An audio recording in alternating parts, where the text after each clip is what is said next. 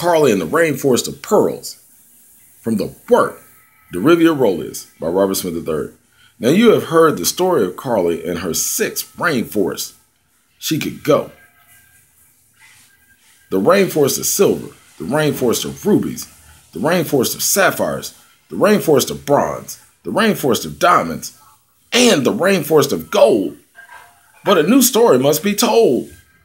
Must take place now, behold. But Carly decided that she had to make her life complete. On another journey she had to go. To do so, so she decided to go. And Princess Carly did leave her parents, the king and queen of the Sapphire Kingdom and the Ruby Kingdom. And what Carly went on a journey to find was something that might more than unify the kingdoms. And Carly traveled and traveled until she came upon yet another rainforest. And this rainforest had a gate made of pearls, unlike any other rainforest. And she came to the gate and entered the gate by way of the key she had made of rubies. And when she entered the gate, she found something far more priceless than rubies. There were seven hawks that possessed seven pearl keys and seven pearl thrones. And there was a mystery man there who spoke to Carly in the midst of the thrones. Come to me, Carly.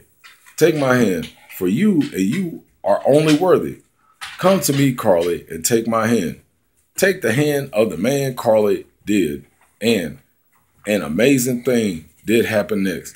Carly and the man sat on a cloud where Carly saw all of her rainforest transformed into pearl kingdoms, which Carly did not expect. Her rainforests were now seven pearl kingdoms with seven pearl thrones with seven pearl gateways. And Carly could see pearls all over the earth, all over the place for miles and for days. And everyone on the earth did make a path to Carly's kingdoms, making the seven pearl kingdoms the greatest of the great kingdoms. And her parents became the pearl king and queen, and were very pleased with the kingdoms. And forevermore, their armies were all armies, and all armies were transformed to pearl armies. And Carly became the pearl princess with the power there to transform anything and anyone into an army, and the seven pearl kingdoms became the most magnificent to behold forevermore. And Princess Carly became the most magnificent to behold forever and forevermore.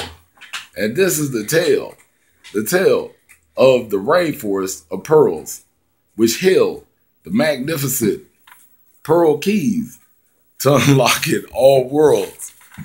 All right, so this story right there is called Carly and the Rainforest of Pearls from the work, Dirivia Rolius by Robert Smith III.